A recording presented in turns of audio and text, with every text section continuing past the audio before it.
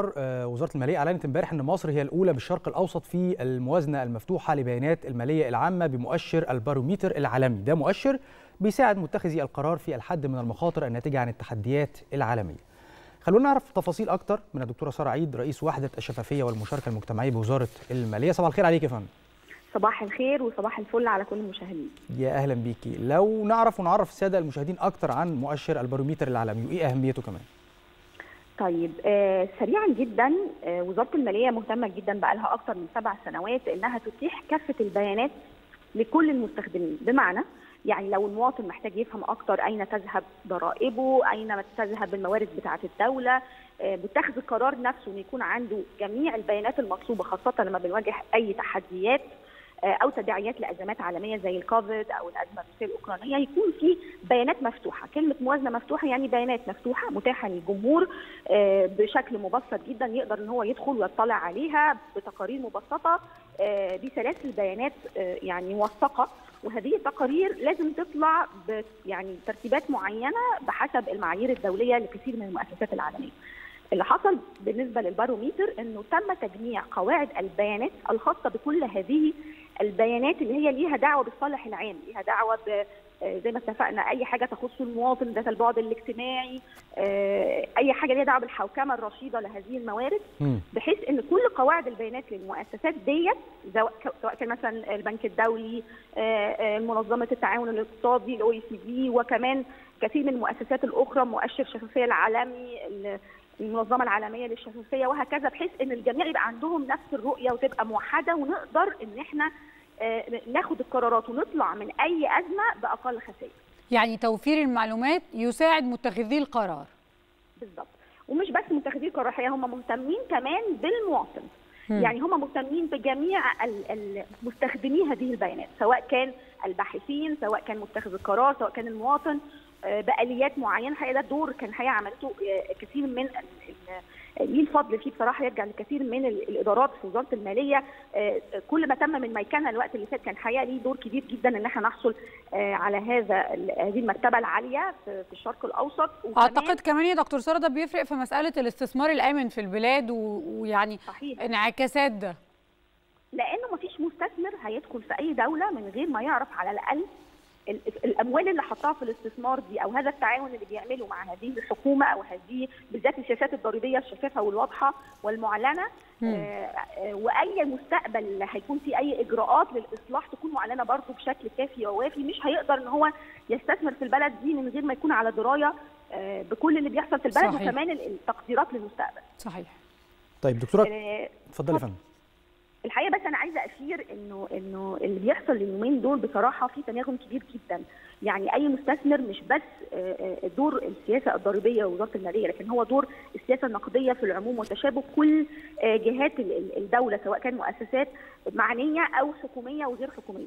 لأن الحقيقة إحنا في حاجة مهمة جدا لازم ناخد بالنا منها. لما أي مستثمر بيجي هو مش بيبص على قطاع واحد زي كده التصنيف الائتماني. لازم يبص على الصورة الكاملة. والصورة الكامله دي لازم تكون متناغمة وفي حاجة اسمها الصورة الذهنيه البرسبشن يعني هو مش بيبص مش بيبص كمان بس على الأرقام هو بيبص إلى أي مدى الناس كمان بيقولوا إيه. فده مهم جدا إن إحنا نتعاون فيه مع بعض وعشان كده عايزة أشيد بالدور دوت إنه أكيد كثير من الجهات مثلا زي مثلا وزارة الاتصالات زي مثلا e-finance زي كل ما هو كان ليه دخل في إتاحة البيانات بشكل إلكتروني وواضح الحقيقة وحدة الشفافية كمان والمشاركة المجتمعية كان ليها دور كبير إن إحنا نبسط المعلومة نشرك المواطن يكون في آلية عندنا حاجة اسمها الموازنة التشاركية. برضو إحنا على الأطلس العالمي للموازنة التشاركية يعني الحقيقة في مجهود كبير جدا كان بيتم على مر السنوات السابقة علشان نقدر يعني نحط الناس معانا في الرؤيه دي سواء كمان الشباب في مصر لكن الحقيقة إحنا قدامنا مشوار طويل. يعني أنا مش بقول إن إحنا إحنا خدنا تقريبا 49 عالمية. هو طبعا ده الأول في الشرق الأوسط لكن ما زال لدينا آه الكثير لنقدمه وإن إحنا نتعاون فيه عشان تبقى أكتر وأكتر إتاحة البيانات يبقى أمر يعني زي ما نقول كده مؤسسي في كل جهة. عظيم جدا. انعكاسات ده يا دكتورة سارة على الوضع الاقتصادي المصري قدام دول العالم كله لأن طبعا مؤشر عالمي. ده حقيقي. الحقيقة هم كانوا مهتمين جدا إن هم يطلعوا المؤشر ده خاصة قبل يعني قمة المناخ لأنه هم عملوا هذا التقييم لمصر بعد أزمة يعني طبعا في خلال الجائحة. وإحنا كنا حريصين إن إحنا يكون عندنا على الموقع الإلكتروني التفاعلي اللي هو budget.gov.eg ده الموقع الخاص ب وحدة الشفافية والمشاركه المجتمعية واللي محطوط طبعا على موقع وزارة المالية اللي هو mof.gov.eg جزء خاص بكل ما تم انفاقه فيما يخص الحزمة التحفيزية للكوفيد وكمان التعاقدات اللي تمت بمنتهى الشفافية. الحقيقة كان ليه دور كبير إن إحنا برضو نحصل على هذا المرتبة. انعكاساته بشكل بسيط هو إنه الوقت الجاي من غير ما تبقى انت عندك رؤية واضحة سواء انت أو كل الأطراف اللي معاك انت عمرك ما هتقدر توصل لنفس الهدف. مم. فده مهم جدا. مهم إن إحنا كلنا نبقى شايفين الرؤية بمنتهى الشفافية والوضوح. مهم كمان إنه نشارك بالتحديات لأنه المخاطر دي مثلا إحنا كان الوقت اللي فات عندنا تصنيفات ائتمانية. إحنا عندنا مخاطر. ما كل البلاد بتمر بمخاطر صحيح. بس لما إحنا نبقى إحنا مستخدمين البيانات سواء كان فاهم معناها إيه اولا يعني كتير قوي ما بنبقاش فاهمين المعنى. ثم نستخدمها بشكل صحيح. ثم إن إحنا نتحرك كلنا في نفس الاتجاه ده يساهم إن إن دفع عجلة النشاط الاقتصادي يتم بمنتهى الكفاءة وهو ده بالظبط الغرض من أي إدارة رشيدة للموارد إنك أنت تبقى فاهم مواردك وظفتها في طبعا الاستغلال الأمثل لهذه الموارد. بالظبط يعني مجهود كبير جدا في إصلاح للماليه العامة اللي تم الوقت اللي فات كان ليه دور كبير وتأثير الحقيقة ده.